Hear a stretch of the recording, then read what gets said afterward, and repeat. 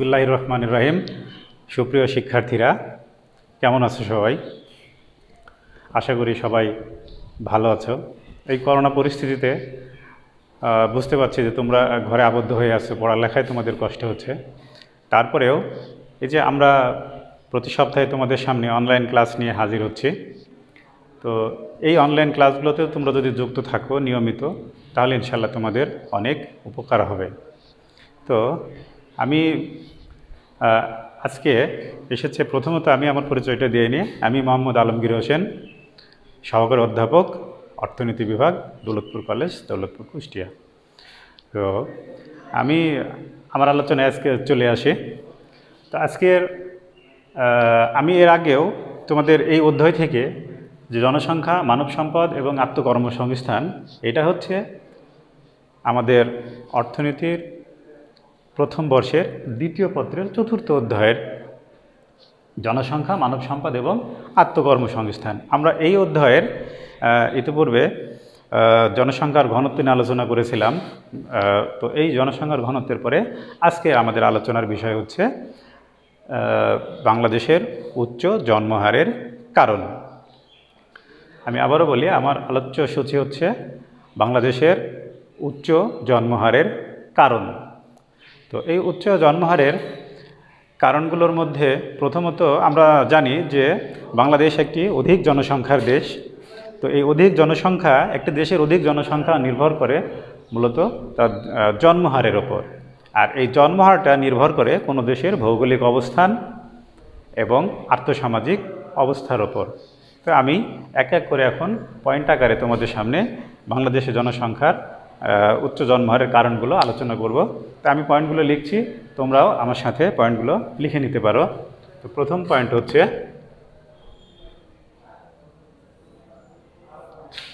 ভৌগোলিক কারণ।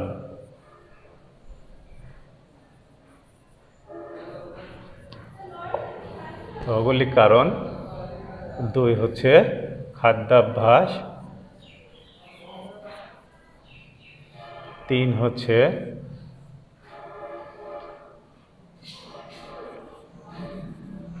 দারিদ্রতা, দারিদ্র তিন।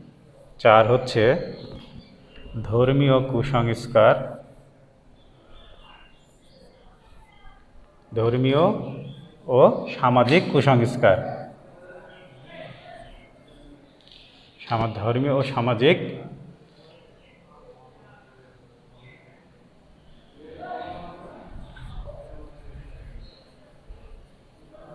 সামাজিক কুসংস্কার শিক্ষার হার। তোমরা একটু লিখে নাও সবাই। শিক্ষার হার। নিম্ন জীবনযাত্রার মান।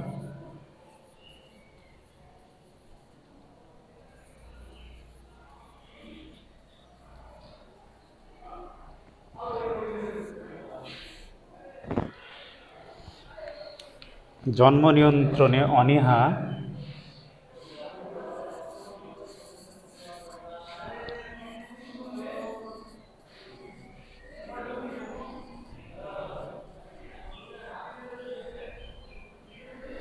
সরি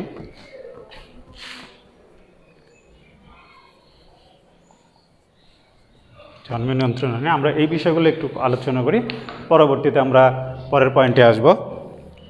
তো প্রথম আমরা যে পয়েন্টটায় আসছি, যে কারণটা সেটা হচ্ছে ভৌগোলিক কারণ। বাংলাদেশের অধিক উচ্চ জন্মহারের প্রধান কারণ হচ্ছে ভৌগোলিক কারণ। ভৌগোলিক অবস্থানের কারণে বাংলাদেশের জলবায়ু হচ্ছে নাতিশীতোষ্ণ। আর নাতিশীতোষ্ণ জলবায়ুর কারণে বাংলাদেশের জনগণের অল্প বয়সেই প্রজনন ক্ষমতা লাভ করে। বিধায় জনসংখ্যার উচ্চ জনসংখ্যা বেড়ে যায় এবং এটা একটা উচ্চ জন্মহারের অন্যতম কারণ। আরেকটা হচ্ছে খাদ্যাভ্যাস। খাদ্যাভ্যাস জনসংখ্যা, উচ্চ জন্মহারের একটি অন্যতম কারণ হিসেবে বিবেচিত। আমরা জানি বৈজ্ঞানিক গবেষণালব্ধ থেকে পাওয়া যায় যে যে সমস্ত জনগোষ্ঠী স্বেচ্ছা জাতীয় খাদ্য গ্রহণ করে বেশি, তাদের প্রজনন ক্ষমতা বেশিও হয়।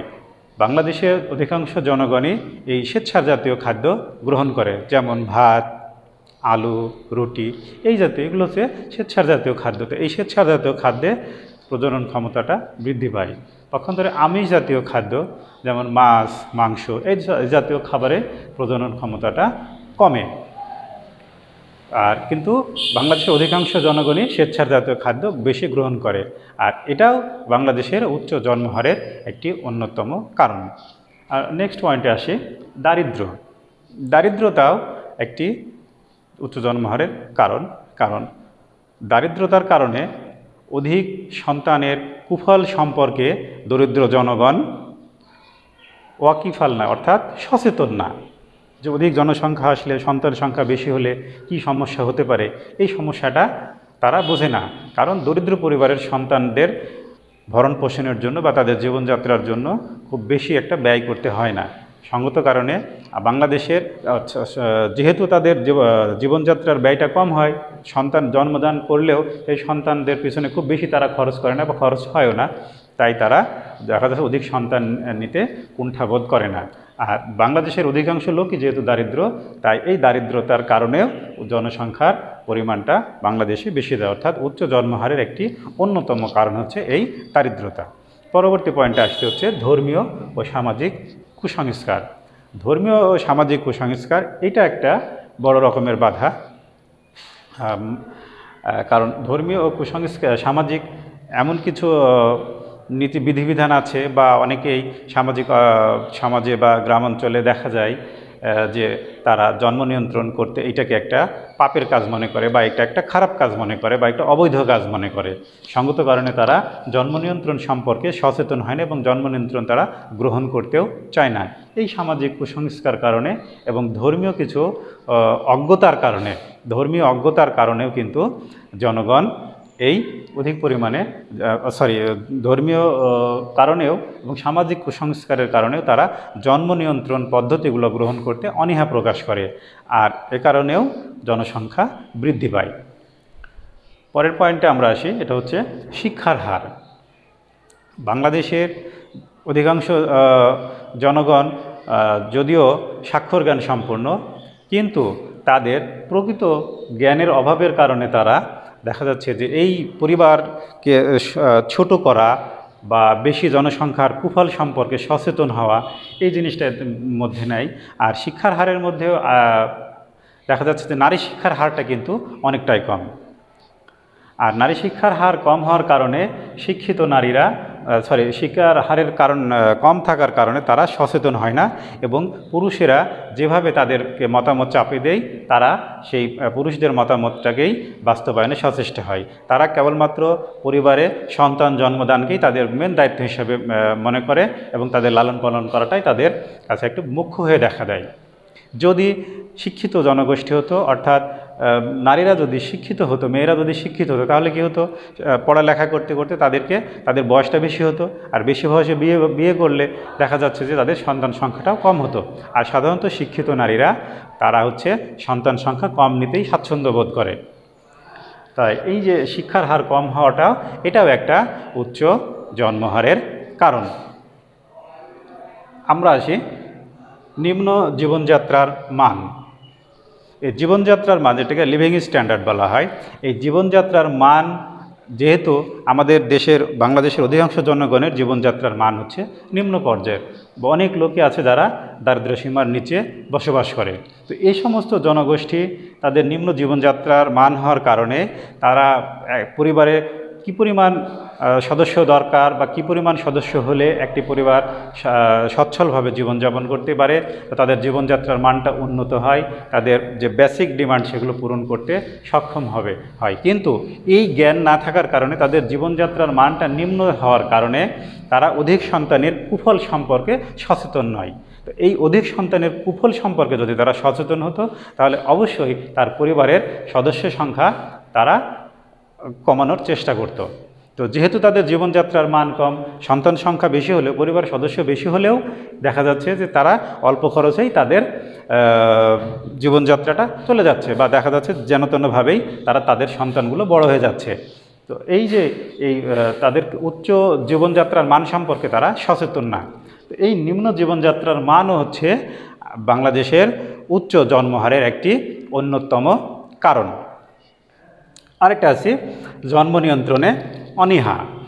তো জন্ম নিয়ন্ত্রণে অনীহার ক্ষেত্রে আমরা লক্ষ্য করি যে জন্ম নিয়ন্ত্রণের যে পদ্ধতিগুলো আছে, এই পদ্ধতিগুলো এখনও আমাদের দেশের জনগণ সহজভাবে বা স্বাভাবিকভাবে মেনে নিতে পারেনি। তারা এই জন্ম নিয়ন্ত্রণ পদ্ধতিটা অবলম্বন করাকে একটা লজ্জাকর জিনিস মনে করেন। মনে করি এটা একটা লজ্জার জিনিস।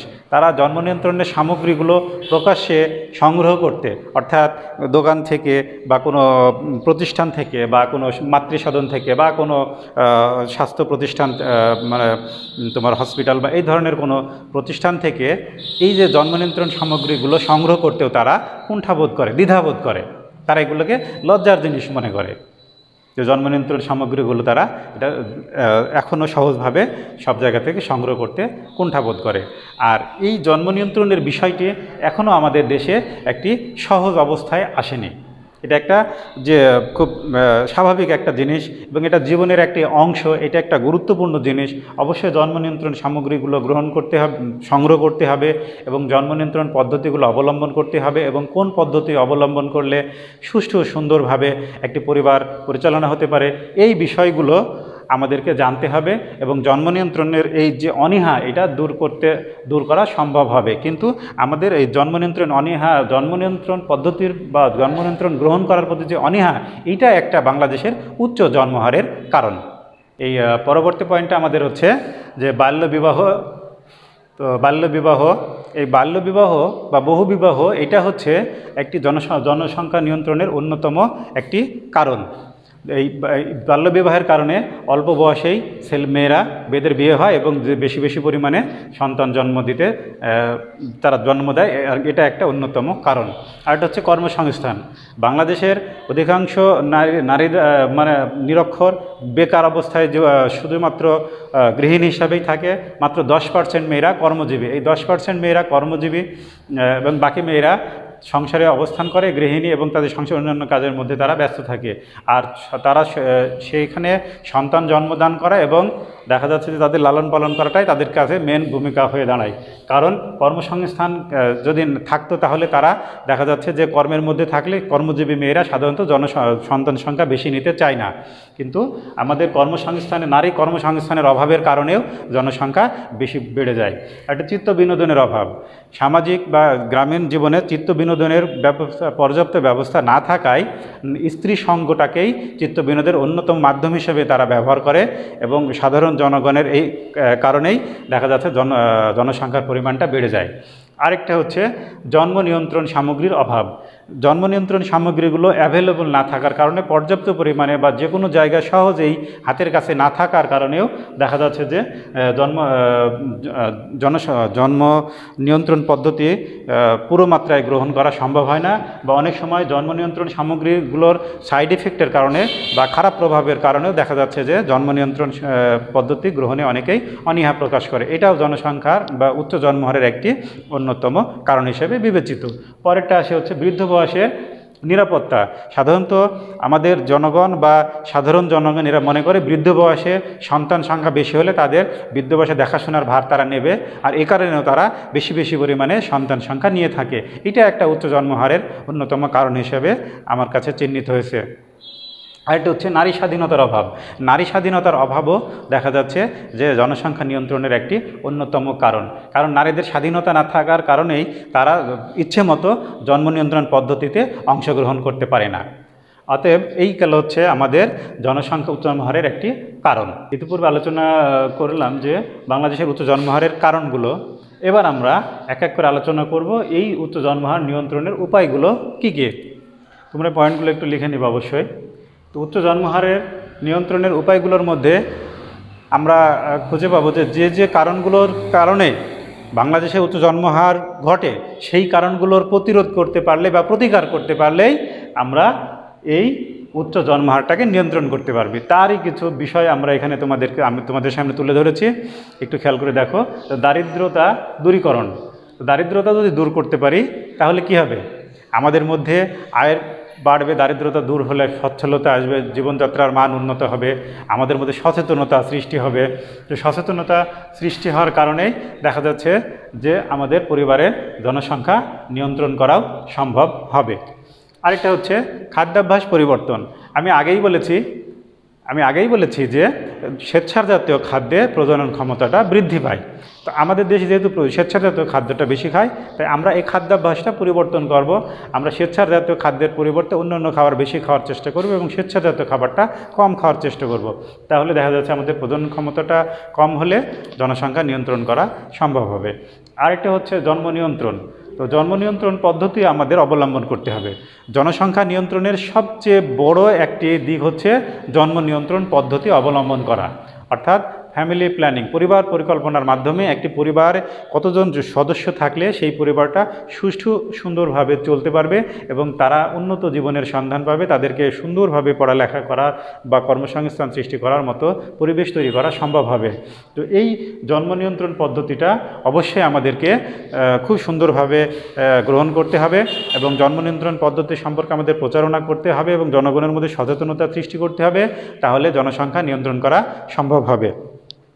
আমরা নারীর ক্ষমতায়ন। এই নারীর ক্ষমতায়ন হচ্ছে জনসংখ্যা নিয়ন্ত্রণের একটি অন্যতম কারণ না। যেহেতু জনসংখ্যা নিয়ন্ত্রণে নারীদের ভূমিকা অনেকটাই বেশি। তাই এই নারীর ক্ষমতায়ন যদি বাড়ে, নারীরা যদি স্বাধীনভাবে তাদের মতামত প্রকাশ করতে পারে, তাহলে জনসংখ্যা নিয়ন্ত্রণ করা সম্ভব হবে। পরটা হচ্ছে সামাজিক দৃষ্টিভঙ্গির পরিবর্তন। আমাদের সামাজিক দৃষ্টিভঙ্গির পরিবর্তন করতে হবে। যে কুসংস্কার আমাদের মন থেকে ঝেড়ে ফেলতে হবে। জন, জন্ম নিয়ন্ত্রণ পদ্ধতি গ্রহণ করা, পরিবারকে ছোট রাখা, এটা কুসংস্কার, এটা একটা অবৈধ কিছু না, এটা ধর্মীয় দিক থেকেও কোনো সমস্যা নেই। সামাজিকভাবে এটা বরং আরও নন্দিত একটি জিনিস, নিন্দিত নয়। এটা আমাদের বুঝতে হবে। আর এই সামাজিক দৃষ্টিভঙ্গির পরিবর্তন যতদিন আমাদের না আসবে, ততদিন আমরা কখনোই জনসংখ্যা নিয়ন্ত্রণ করতে পারব না। অতএব সামাজিক দৃষ্টিভঙ্গির পরিবর্তন জনসংখ্যা নিয়ন্ত্রণের একটি অন্যতম উপায় বলে আমার আমার কাছে মনে হয়। আরেকটি হচ্ছে নারী শিক্ষার অভাব। নারীরা যদি শিক্ষিত হয়, সচেতন হয়, তাহলে শিক্ষিত নারীরা তাদের সন্তান কম নিতে আগ্রহী হবে এবং জনসংখ্যা নিয়ন্ত্রণ করা সম্ভব হবে। পরেরটা হচ্ছে বাল্যবিবাহ নিষিদ্ধ। বাল্যবিবাহ অবশ্যই নিষিদ্ধ করতে হবে। এই বহুবিবাহ এবং বাল্যবিবাহ এই যে একটি আমাদের সমাজের যে একটি দৃষ্টিভঙ্গি, ছোটোবেলায় ছেলে মেয়েদের বিয়ে দিয়ে দেওয়া হয় এবং তারা দেখা যাচ্ছে সংসারের মধ্যে অল্প বয়সেই ঢুকে যায় আর অল্প বয়সে ঢোকার কারণে তারা সন্তানও বেশি বেশি পরিমাণে জন্ম দিতে পারে। এই বাল্যবিবাহ নিষিদ্ধ করতে হবে বহুবিবাহ বন্ধ করতে হবে। তাহলে জনসংখ্যা নিয়ন্ত্রণ করা সম্ভব হবে, অর্থাৎ উচ্চ জন্মহার নিয়ন্ত্রণ করাও সম্ভব হবে। পরেটা আসতে হচ্ছে, নারীর কর্মসংস্থান সৃষ্টি। আমি আগে আলোচনায় বলেছিলাম যে বাংলাদেশের প্রায় দশ পার্সেন্ট নারীরা কর্মজীবী। বাকি নারীরা সবাই গৃহিণী বা অন্যান্য পেশায় অবস্থান করে। তো এই কর্মসংস্থান যদি সৃষ্টি করা হয়, কর্মজীবী মেয়েরা সব সময় তাদের জীবনযাপন সম্পর্কে সচেতন হয়, তারা সন্তান সংখ্যা সব সময় এক বা দুই এমন নিতে ইচ্ছা পোষণ করে। অর্থাৎ অধিক জন সন্তান তারা নিতে চায় না। তাদের মধ্যে সচেতনতার সৃষ্টি হয় আর কর্ম করার কারণেই দেখা যাচ্ছে তাদের জীবন সম্পর্কে তারা সচেতন হয়। সঙ্গত কারণে জনসংখ্যা তারা কম নিতে চায়, সন্তান তারা কম নিতে চায়। তো এই হচ্ছে মূলত আমাদের আলোচনার বিষয় ছিল যে জন উচ্চ জন্মহারে বাংলাদেশে উচ্চ জন্মহারের কারণ এবং তার প্রতিকার অথবা নিয়ন্ত্রণের উপায়। তো যাই হোক আমরা আজকে যে বিষয়গুলো আলোচনা করলাম, এই বিষয়গুলো তোমরা একটু আবারও বাড়িতে রিভিউ করবা এবং আমার ক্লাস থেকে অবশ্যই তোমরা এই বিষয়টা সম্পর্কে অনেকটাই পরিষ্কার হতে পেরেছ। যে বাংলাদেশের জনসংখ্যা কীভাবে বৃদ্ধি পায় এবং এই জনসংখ্যা বৃদ্ধিপ্রাপ্ত জনসংখ্যাকে কীভাবে নিয়ন্ত্রণে এনে বাংলাদেশকে একটি সুখী, সমৃদ্ধি এবং উন্নত জাতিতে পরিণত করা যায়, সেটা তোমরা অবশ্যই চিন্তা করবা। আর আমরা সবসময় চেষ্টা করব যে আমাদের মধ্যে সচেতনতা তৈরি করা। এই সচেতনতা তৈরি করার কারণেও দেখা যাচ্ছে আমরা অনেক সমস্যা থেকে উত্তরণ পাব। বর্তমান যেমন করোনা পরিস্থিতি, এই করোনা পরিস্থিতিতে অবশ্যই আমরা সচেতন থাকব। আর এই সচেতনতা থেকে আমরা নিজে সুরক্ষিত থাকব এবং অন্যকেও সুরক্ষা দিব। তো ঠিক আছে সুপ্রিয় ছাত্ররা, পরবর্তী ক্লাসে ইনশাল্লাহ আবার তোমাদের সঙ্গে দেখা হবে এবং তোমাদের নতুন অধ্যায়, নতুন বিষয় নিয়ে আমি তোমাদের সামনে হাজির হব। সে পর্যন্ত তোমরা সবাই ভালো থেকো, সুস্থ থেকো, সুন্দর থেকো। আল্লাহ হাফেজ।